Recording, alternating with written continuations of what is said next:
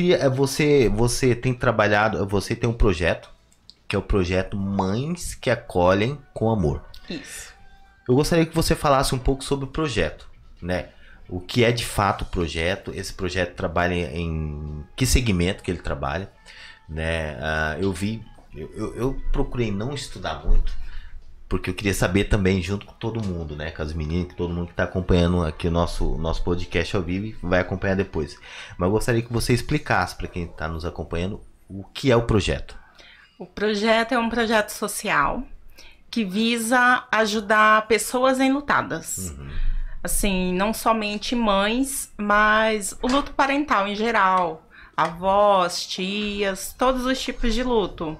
Independente da forma que partiu a- pessoa, né? É, hoje nós já estamos, nós temos cinco grupos de apoio pelo WhatsApp que nós atendemos, essas sendo quatro é, somente de luto e um que é para as mãezinhas que pretendem é, engravidar, que já estão grávidas, mas que elas já tiveram uma perda anterior. Então, assim, é um apoio.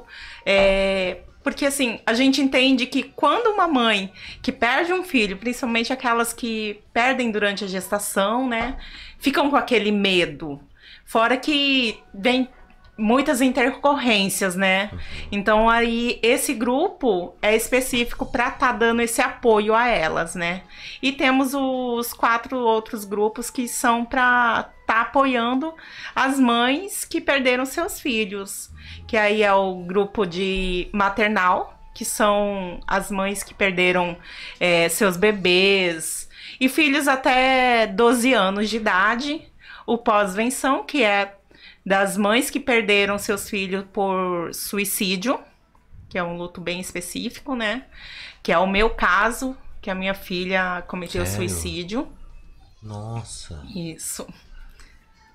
Não, aqui pode chorar, aqui pode se emocionar. Não, é- eu, é eu hoje eu sou bem, bem tranquila, bem resolvida nessa parte Uhum. de falar sobre a morte da minha filha.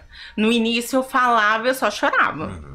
Mas Deus é maravilhoso na minha vida e eu pedi Amém. muita direção para ele, principalmente em conseguir falar do meu luto, falar da morte da minha filha e conseguir passar para as pessoas o que era a minha filha, é, o porquê desse projeto, né? Então, assim, esse projeto veio por conta disso. Se a minha filha não tivesse partido, hoje eu não estaria na vida de tantas mães presentes como eu sou, né?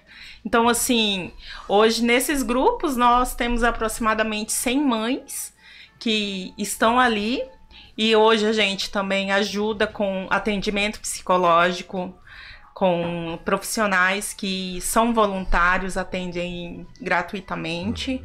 Então, assim, é uma ajuda muito importante ter isso. Então, é, eu perdi a minha filha é, 19 dias depois do meu aniversário. Nossa. Dia 23 vai fazer quatro anos. Quatro, Quatro anos, anos. recente, né? Sim, independente do tempo, assim, é, a mãe sempre vai sentir. Quando é um ano, dois anos, não Dez, importa. É a dor sempre. É a é. mesma coisa. É, né? O que acontece é que com o tempo a gente vai ficando mais forte. Uhum. E essa dor, Deus vai amenizando, vai conseguindo fortalecer a gente mais e mais. Agora essa perda que você falou aí, é, é, o, o- esse projeto surgiu devido a essa perda? Sim, surgiu por causa da Mas, perda. mas- então, mas aí você se viu sozinha, sem nenhum amparo, de tipo psicológico que seja, enfim, né, depois dessa perda. Então, através disso surgiu a vontade de você entrar ou implantar esse projeto para que você Isso. pudesse ajudar outras, outras pessoas. Sim, é, quando a minha filha faleceu, saiu em vários jornal, jornais aqui de Campo Grande, Campo Grande News, Media Max. A Nilza Os, é- os digitais Uhum. passou bastante.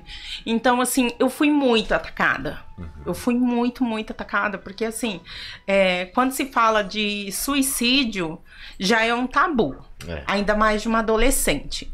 Então, assim, os ataques veio imenso, assim, principalmente de mães, pessoas religiosas.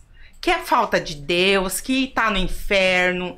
É, cara, absurdo que eu, que eu cheguei a ler assim, que meu marido chegou e pegou, me segurou e falou: para de Para. ler, para de ler, que não tá te fazendo bem. Uhum. Porque as mensagens negativas é mais impactantes do que aquele Ah, acolhimento, positivas. aquelas mens- mensagens positivas, né? Exatamente. Então, assim, eu fui muito atacada. E, e as pessoas não sabiam por quê, o que estava acontecendo. E a minha filha tinha depressão. Ela tinha depressão. E três dias antes ela tinha sido expulsa da escola. Ela brigou na escola, foi expulsa. E então, assim, repercutiu porque a mídia queria colocar um culpado. E nesse culpado, eles colo- queriam colocar a escola. Uhum. Então, assim, foi por isso que me procuravam, queria saber da minha é, opinião, mas só que pra mim, não, assim, hoje eu vejo ainda mais que não existe culpado. A minha filha não deixou carta, não deixou nada, simplesmente foi lá e Simplesmente fez. Então, Não deu nenhum sinal, nada, né? depois que eu fui perceber.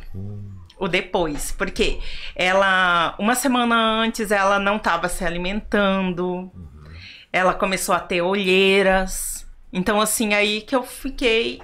Depois que tudo aconteceu, porque assim, a gente não quer acreditar que, ó, eu chegava, vai almoçar, vai jantar. Não, não tô com fome. Eu falava, não é impossível que não tá com fome. Eu ficava assim, ah, certo, mais tarde vai comer alguma coisinha, né? E ficava, só que isso daí já era um sinal. A falta de apetite já é um sinal para uma pessoa que está em profunda depressão.